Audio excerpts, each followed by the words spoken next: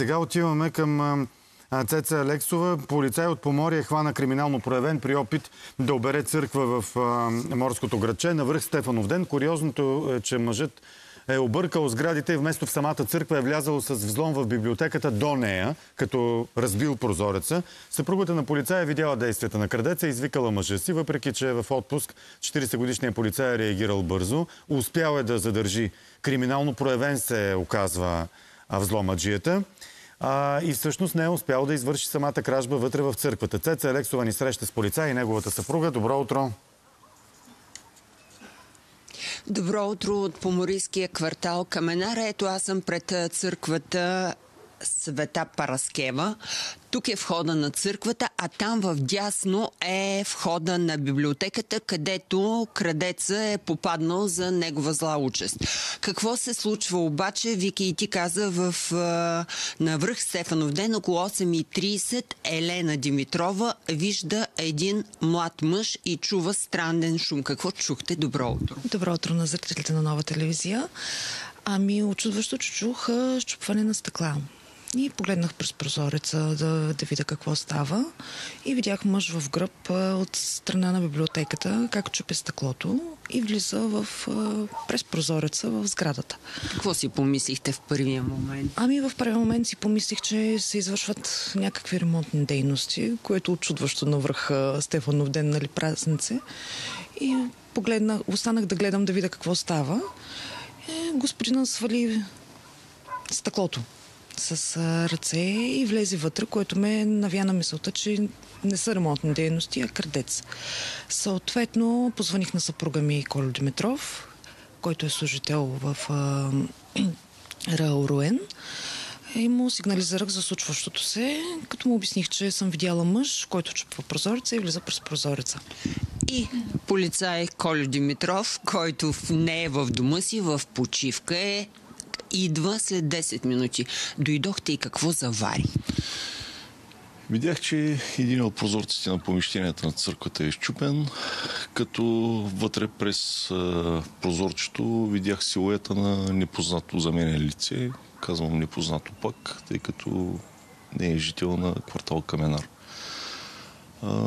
Поканях няколко пъти лицето да излезе, като след последната покана същият излезе, задържах го. Същевременно бяхме уведомили колегите от районно управление по море, които а, при задържане на лицето вече пристигаха тук на място. Аз ще помоля да влезем си с оператора вътре в библиотеката, да покажем къде е влязал а, злополучния крадец и вие да ми разказвате. Казвате, че не го познавате този а, млад мъж.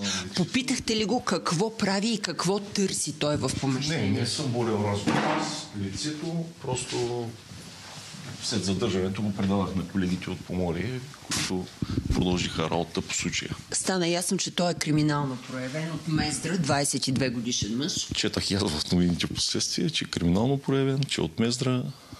Нямам идея по каква причина е тук в квартал Каменар точно и точно затова е влязъл по истинето. Нямам идея.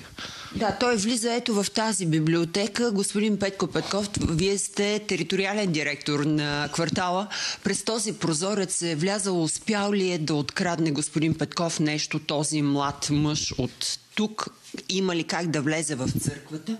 Няма как да влезе в църквата. Помещението е в същата сграда, но е отделно помещение е заключено.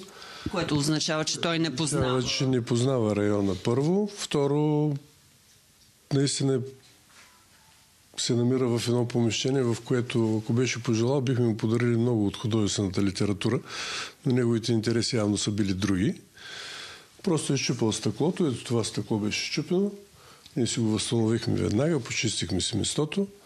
За кой път през ваше, така, вашето управление на този доскоро село, сега квартал на Поморие, а, има такъв апетит към а, храм?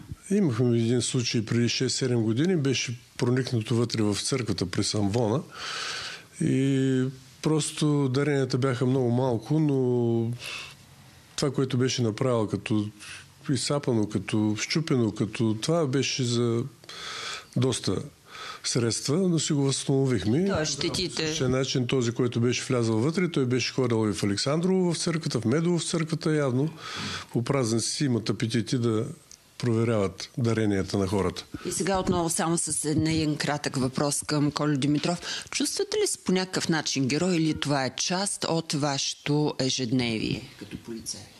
Не, не се чувствам герой. Това е част от моята работа, дори и в почивни и празнични дни. Това не е нашия дълг. Както казах и преди това, това е дълга на всеки един гражданин да не остава безпричастен към такива действия. Благодаря ви за този разговор и на семейството и на господин Петков. Важно е да кажем, че през месец декември три са църквите на територията на Бургаска област, които са станали обект на посегателство от страна на кръци. Трите опита са неуспешни. От полицията уточняват, че и всички кръци са криминално проявени. И явно подценяват способностите на твоята събеседничка много лесно да извика полиция, звънейки просто на мъжа си в случая Колю Димитров. Благодаря на Цеца Елек.